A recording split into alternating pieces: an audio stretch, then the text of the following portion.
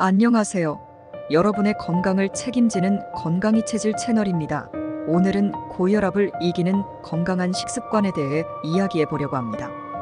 고혈압은 소리 없는 살인자라고 불릴 만큼 심각한 건강 문제를 야기할 수 있기 때문에 예방과 관리가 매우 중요합니다. 고혈압은 대표적인 만성 질환 중 하나로 혈압이 지속적으로 높은 상태를 말합니다. 고혈압은 다양한 원인으로 발생하며 증상이 나타나지 않는 경우가 많기 때문에 정기적인 건강검진이 필요합니다. 고혈압의 원인은 다음과 같습니다. 유전적 요인. 가족 중 고혈압 환자가 있는 경우 고혈압 발생 위험이 높습니다. 생활 습관. 흡연, 음주, 과도한 스트레스, 불규칙한 식습관 등은 고혈압을 유발하는 원인 중 하나입니다. 환경적 요인. 비만, 운동 부족, 대기오염 등은 고혈압을 유발하는 원인 중 하나입니다. 고혈압의 증상은 다음과 같습니다. 두통, 어지러움, 피로감, 가슴 통증, 호흡곤란 등이 나타날 수 있습니다. 하지만 대부분의 경우 증상이 나타나지 않기 때문에 정기적인 건강검진이 필요합니다. 고혈압을 예방하고 관리하기 위해서는 다음과 같은 방법이 있습니다. 건강한 식습관 유지하기. 고혈압에 좋은 음식을 섭취하고 과도한 나트륨 섭취를 줄이는 것이 중요합니다. 고혈압을 예방하고 관리하기 위해서는 건강한 식습관을 유지하는 것이 중요한데요.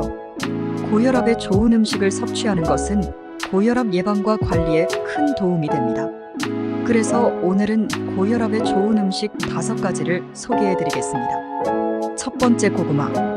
고구마는 칼륨이 풍부하여 체내 나트륨 배출을 도와 혈압을 낮추는 데 효과적입니다. 또 식이섬유가 풍부하여 혈당 조절에도 도움이 됩니다. 두 번째 양파. 양파는 항산화 작용이 뛰어나며 콜레스테롤 수치를 낮추는 데 효과적입니다. 또 혈액 순환을 촉진하여 혈압을 낮추는 데 도움이 됩니다. 세 번째 비트. 비트는 질산염이 풍부하여 혈관을 확장하고 혈압을 낮추는 데 효과적입니다. 또 항산화 작용이 뛰어나며 면역력 강화에도 도움이 됩니다. 네 번째 견과류.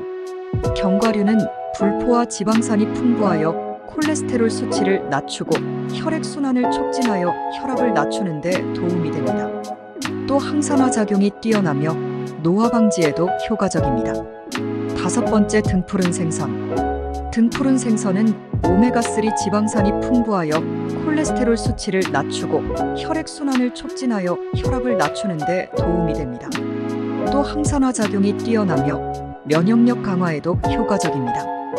고혈압에 좋은 음식을 섭취하는 것 외에도 건강한 식습관을 유지하는 것이 중요합니다. 과도한 나트륨 섭취를 줄이고 규칙적인 운동을 하는 것이 좋습니다. 또 스트레스를 효과적으로 관리하는 것도 중요합니다. 건강한 식습관과 함께 고혈압을 예방하고 관리하여 건강한 삶을 유지하시길 바랍니다. 매일 매일 더 건강해지는 습관. 바로 건강이 체질 채널 구독입니다. 감사합니다.